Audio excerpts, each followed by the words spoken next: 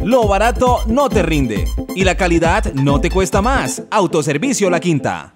Para muchos esta imagen es cruel y tal vez desagradable a la vista, pero nos permitimos publicarla ante el desespero de este hombre que lleva meses buscando ayuda para su atención.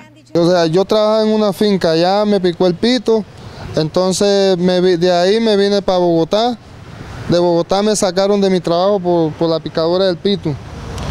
Entonces lo que yo quiero es que por favor que me ayuden con las inyecciones que me mandó el médico, son 80 inyecciones. Su herida es consecuencia de la picadura de un insecto cuando realizaba labores del campo y por su condición ha perdido empleos y oportunidades laborales. La 9PS, ha ido allá a la 9PS y tampoco quieren atender a uno.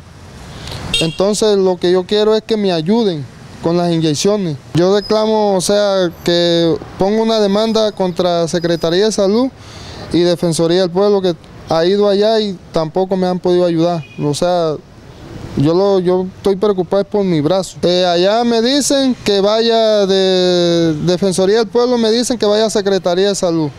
Y eh, ha estado allá y, y nada.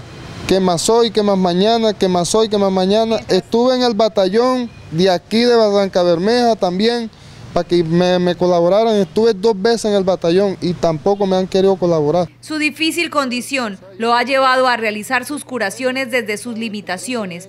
Una situación lamentable que hoy muestra a un hombre triste, preocupado y desesperado por la falta de atención.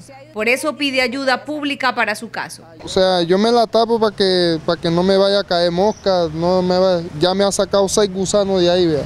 Seis gusanos me ha sacado ya aquí de esta herida. Eso azul es de echar al ganado, eso es para matar gusanos.